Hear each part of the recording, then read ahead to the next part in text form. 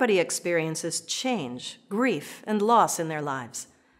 It's important to think ahead and prepare for a loss so that you have the support you need to deal with life changes. Think about how you deal with loss in your life. Let people know how you feel and what you do when you grieve so they can recognize when you're sad or hurting. Tell people how they can support you. Sometimes, as you go through a loss or change, it's hard to tell people what you need them to do to support you. Tell people ahead of time what help or support you may need. Sometimes people are scared to tell others that they're sad or hurting. When you have a loss, it's important to tell those you trust so that you can work together to deal with the loss. Let's learn how others have dealt with challenging life changes. Up to mom death, um, before mom's death, I would get scared of people's deaths, and I would get nervous for the, probably a month after whether it was family or relatives or even a friend, um, or someone that I knew from from work. I would get scared. Oh my gosh, someone died. Oh my gosh. And now, now that I have touched death, and what I mean by that is I was in the room when mom died.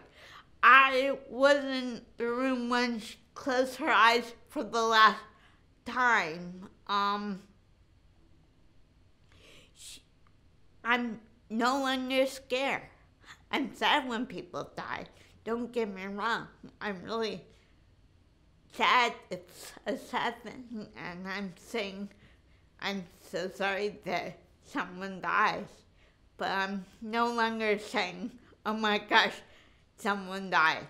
I lost my grandma in 2011.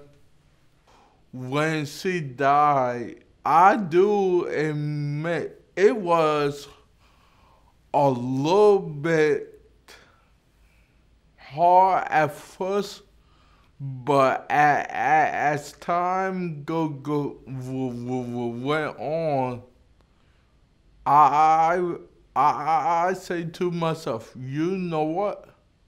I am going to be okay because even though she's not here, I still remember all the stuff that, that she taught me. So I'm just real grateful to have that kind of love. Like it, it's nothing like a grandmother's love. I think that a lot of the time people people with disability are not allowed to to um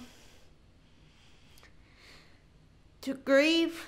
A lot of the time people are not allowed to say see the person dying but I'm really happy.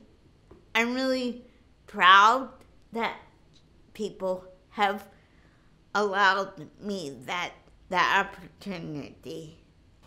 My advice to people is try to think of the good times. And just start living your life.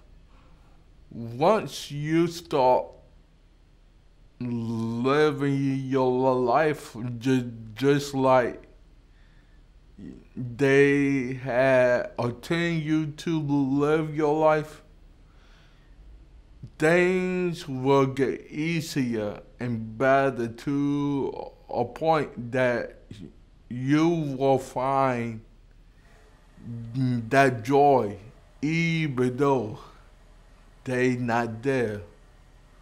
We as people with disability need to be part of the future planning. We need to be because it's our life. Yes, I miss mom and dad, and yes, it is a scary thing. I'm not saying that it is a fun thing.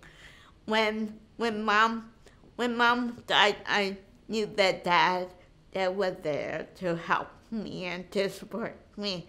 But when dad died, I was so scared because because you know your parents are are um are gone and you need to we as people with disability need to feel like we're part of that process and we have to be part of that process Preparing for and dealing with change, grief, and loss can be hard. Remember, reach out to the people you trust. Tell them how to recognize your grief. Tell them what they can do to support you. When you're sad, keep trying to communicate with the people you trust.